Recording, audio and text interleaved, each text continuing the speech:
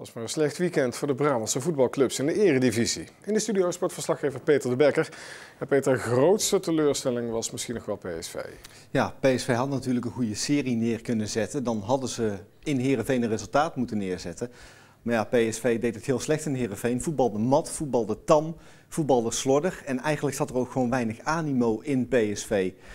Trainer Philip Cocu was ook boos daarover, liet het ook merken aan zijn spelers. En zijn spelers, ja, die begrepen dat eigenlijk ook wel. Ja, tuurlijk. Ik bedoel, uh, Heerenveen speelde heel lang met, met 10 man. En, uh, ja, ik denk dat je het dan gelijk af moet maken. En uh, ik denk ook hoe de wedstrijd begonnen was, was niet scherp. En nee, alle reden voor de trainer om boos te zijn. We hebben invloed op wat we brengen in het veld. Een, moeilijke, of een goede wedstrijd spelen is moeilijk, maar strijd kan je altijd leveren. En, ja, dat, dat hebben we vandaag niet gedaan. Willem II ging ook onderuit, maar dat was iets minder verrassend. Hè? Ja, Willem II uit in Groningen, daar kun je van verliezen. En Willem II had natuurlijk de afgelopen week al goede resultaten neergezet. Tegen Feyenoord gewonnen, Van NAC gewonnen. Dus die konden wat leiden, al had trainer Jurgen Streppel wel het gevoel dat er meer te halen viel in Groningen. We hebben niet gezien dat we twee penalties moeten hebben, dat we de tweede helft die gasten onder druk hebben in, in de Euroborg. Dat we negen punten hebben, dat we tiende staan.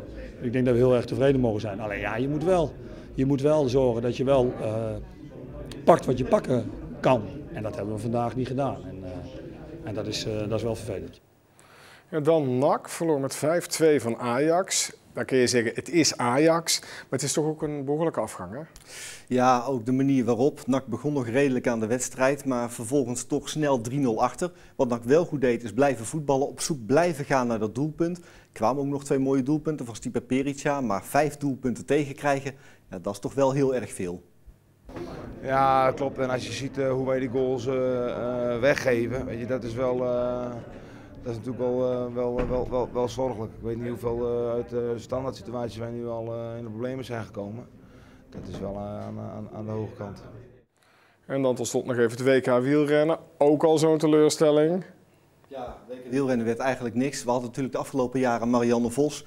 Twee keer op rij wereldkampioen geworden, maar het zat er dit weekend absoluut niet in. Ze werd tiende. Ja, en ook bij de mannen hadden we eigenlijk uh, niks in te brengen. Peter de Bekker, dat was de sportmisère voor dit weekend. Dankjewel.